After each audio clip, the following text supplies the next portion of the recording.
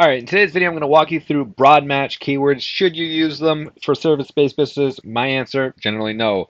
Uh, there are certain times we could use them. I'm going to go over that in the video. Uh, I'm going to show you how to add them to your actual campaign if you choose to do so, and generally what a broad match keyword is. So let's go over to broad match definition. What is a broad match keyword? A broad match keyword is a match type that allows your ad to show on searches that are related to the meaning of your keyword. Now, this may sound simple. So anything that is related to a certain keyword, so say you type in HVAC repair near me, it can essentially pop up for your ad can pop up for. Um, that being said, this is not always a good thing, especially in service-based businesses, because HVAC repair near me, a keyword similar to that could be HVAC uh, near me tips and tricks, uh, DIY, uh, companies looking to hire, all after this keyword, and your ad is going to pop up for that and you're going to waste a lot of money. Now that being said, this could also be very similar to phrase match, but at a lesser extent. That's why we generally prefer phrase match over broad match. But broad match, keep in mind, is really going to target anything. So as you can see here, here's a good example. Low carb diet plan.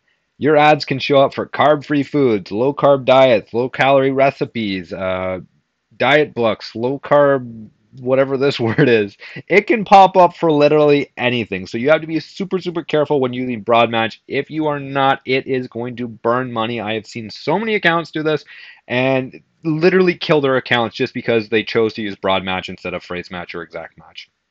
Now, where can broad match be used successfully? Broad match can be used very successfully for e-commerce campaigns. Uh, it is probably the best strategy long term for an e-commerce campaign that is out there at the current moment. And this is because in e-commerce, a sale is a sale. Uh, when you're looking for actual leads, a lead is not necessarily a lead, and Google really has a tough time uh, figuring that context out because the person calling you from the keyword pool installation near me is a lot different than the person calling you from pool installation companies for hire or looking to hire. Very different context there. One is going to probably make you money, the other one's going to lose your money almost guaranteed. Now, when it comes to e commerce, a sale is a sale. It doesn't really matter what keyword makes a sale. You're making the exact same amount of money off every single purchase. So Google can optimize for these really weird keywords and do a fantastic job. That being said, when it comes to e-commerce, uh, it, you have to generally spend a lot of money up front to give Google the data necessary to optimize, and you can burn a lot of money up front, but generally you make that money back in the long run with this. Now, another thing broad match could be used for that we've used it a few times for is finding keywords that you know, maybe certain accounts you just can't find keywords and you need search terms that are relevant to your account so you can optimize later on. We've used broad match maybe for the first week of the campaign, maybe even for the first couple of dates, just to find keywords out there that we could go after, and then we get rid of the broad match altogether once we find those keywords. Other than that, I really don't think broad match has much of a, a usefulness inside um, service-based businesses, especially if you're running to dedicated landing pages.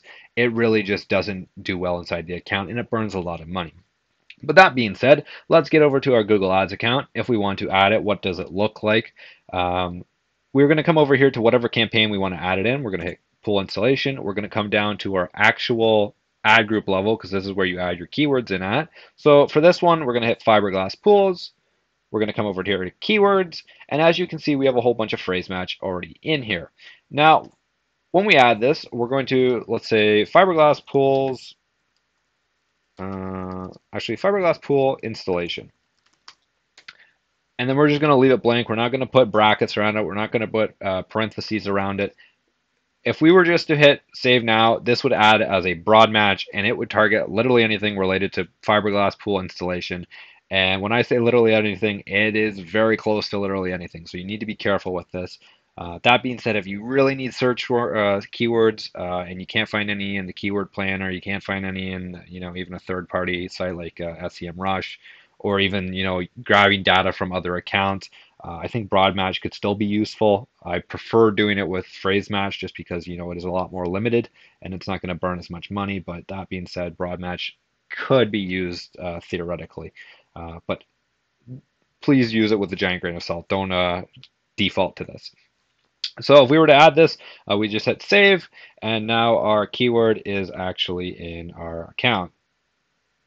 as you can see here, broad match, fiberglass pool installation. If we were to change one of these, uh, you can also come over here, hit broad match, uh, and uh, that is another way to also change uh, um, keywords already in the account, which is kind of nice. So you don't have to rewrite everything out, and you can just um, easily switch the match type, which is nice.